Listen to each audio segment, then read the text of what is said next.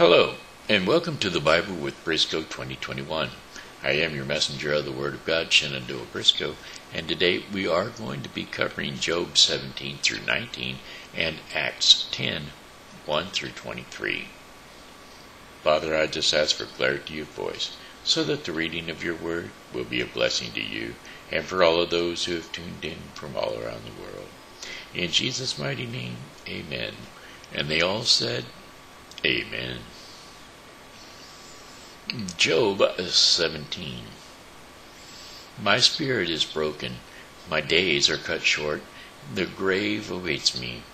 Surely mockers surround me, my eyes must dwell on their hostility.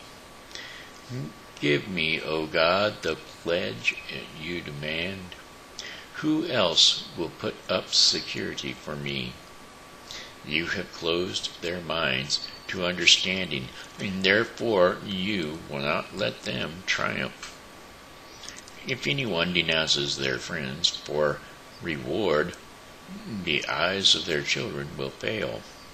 God has made me a byword to everyone, a man in whose face people spit. My eyes have grown dim with grief, and my whole frame is but a shadow. The upright are appalled at this, the innocent are aroused against the ungodly. Nevertheless, the righteous will hold to their ways, and those with clean hands will grow stronger. But come on, all of you, try again. I will not find a wise man among you. My days have passed, my plans are shattered, yet the desires of my heart turn night into day.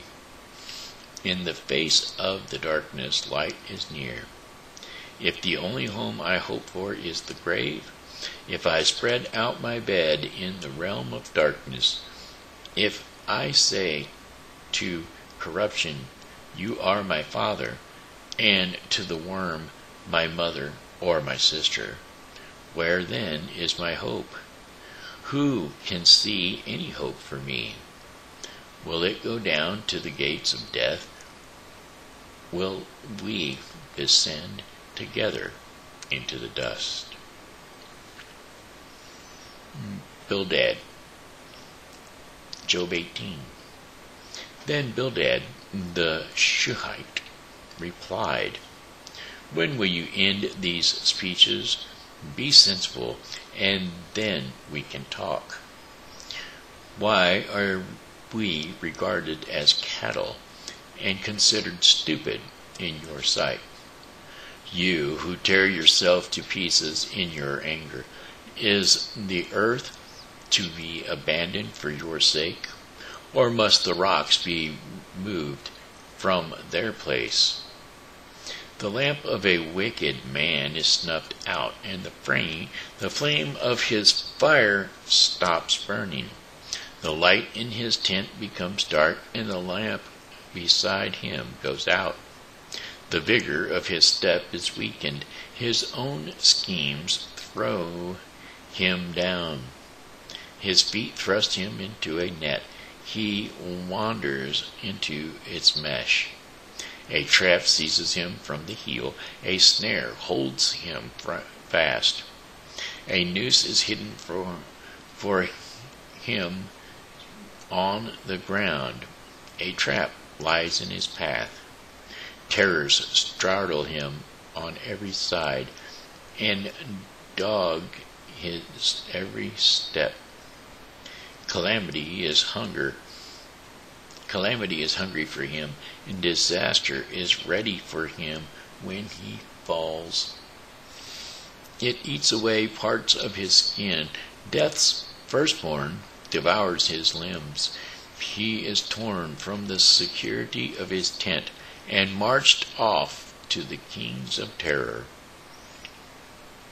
Fire resides in his tent. Burning sulfur is scattered over his dwelling. His roots dry up below, and his branches wither above.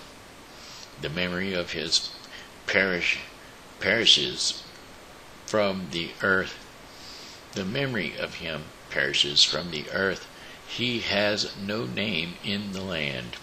He is driven from light into the realm of darkness and is banished from the world. He has no offspring or descendants among his people, no survivor uh, where where once he lived. People of the West are appalled at his fate. Those of the East are seized with horror. Surely such is a dwelling of an evil man, such is the place of one who does not know God. Job 19. Then Job replied, How long will you torment me and crush me with words? Ten times now you have reproached me shamelessly, you attack me. If it is true that I have gone astray, my error remains my concern alone. If indeed you would exalt yourself above me and use my humiliation against me, then know that God has wronged me and drawn his net around me. Though I cry violence, I get no response, and though I call for help, there is no justice. He has blocked my way so I cannot pass. He has shrouded my path in darkness. He has stripped me of my armor, of my honor, and removed the crown from my head.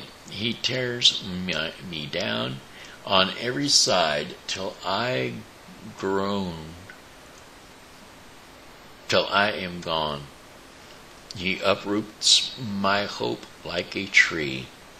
His anger burns against me. His counts he counts me among his enemies. His troops advance in force, and they build a siege ramp against me and encamp around my tent. He has alienated my faith from me. My acquaintances are completely estranged from me. My relatives have gone away. My closest friends have forgotten me. My guests and my female servants count me a foreigner. They look on me as on a stranger. I summon my servant, but he does not answer, though I beg him with my own mouth. My breath is offensive to my wife. I am loathsome to my own family. Every, even the little boy scorns me. When I appear, they ridicule me. All my intimate friends detest me. Those I love have turned against me. I am nothing but skin and bones. I have escaped only by the skin of my teeth. Have pity on me, my friends, have pity. Pity for the hand of God has struck me. Why do you pursue me as God does? Will you never get enough of my flesh? On that my words were recoiled, that they were written on a scroll, that they were inscribed with an iron tool on lead or engraved in rock forever. I know that my Redeemer lives and that in the end he will stand on the earth. And after my skin has been destroyed, yet in my flesh I will see God. I myself will see him. With my own eyes, I, and not another, how my heart yearns with me, within me. If you say, how will, how we will uh, hound him, since the root of the trouble lies in him, you should fear the sword yourselves, for wrath will bring punishment by the sword, and then you will know that there is judgment. Okay, that was Job 17 through 19. And now we will be turning to Acts 10. Acts 10. Cornelius calls for Peter. Acts 10. At Caesarea, at Caesarea, there was a man named Cornelius, a centurion in what was known as the Italian regiment. He and all his family were devout and God fearing. He gave generously to those in need and prayed to God regularly. One day, at about three in the afternoon, he had a vision. He distinctly saw an angel of God who came to him and said, Cornelius. Cornelius started and just stared at him in fear. What is it, Lord? he asked. And the angel answered, Your prayers and gifts to the poor have come up as a memorial of offering before God. Now send men, men to Joppa to bring back a man named Simon, who is called Peter. He is staying with Simon the tanner, whose house is by the sea. When the angel who spoke to him had gone, Cornelius called two of his servants and and a devout soldier who was one of his attendants. He told them everything that had happened and sent them to Joppa. About noon the following day, as they were on their journey and approaching the city, Peter went up on the roof to pray. He became hungry and wanted something to eat, and while the meal was being prepared, he fell into a trance. He saw heaven opened and something like a large sheet being let down to earth by its four corners. It contained all kinds of four footed animals, as well as reptiles and birds. Then a voice told him, Get up, Peter, kill and eat. Surely not, Lord, Peter replied. I have never eaten anything impure or unclean. And the voice spoke to him a second time Do not call anything impure that God has made clean. This happened three times, and immediately the sheet was taken back to heaven. While Peter was wondering about the meaning of the vision, the man sent by Cornelius found out where Simon's house was and stopped at the gate. They called out, asking if Simon, who was known as Peter, was staying there. And while Peter was still thinking about the vision, the Spirit said to him, Simon, three men are looking for you. So get up and go downstairs. Do not hesitate to go with them, for I have sent them. Peter went down and said to the men, I am the one you are looking for. Why have you come? The men replied, We have come for Cornelius, the centurion. He is a righteous and God fearing man who is respected by all the Jewish people. A holy angel told him to ask you to come to his house so that he could hear what you have to say. Then Peter invited the men into the house to be his guests. The next day, Peter started out with them. And some of the believers from Joppa went along. Okay, that was Acts 10 1 through 23.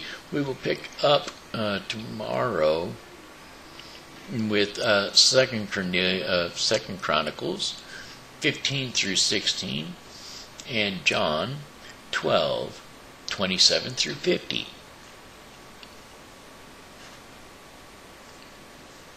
No, this is wrong.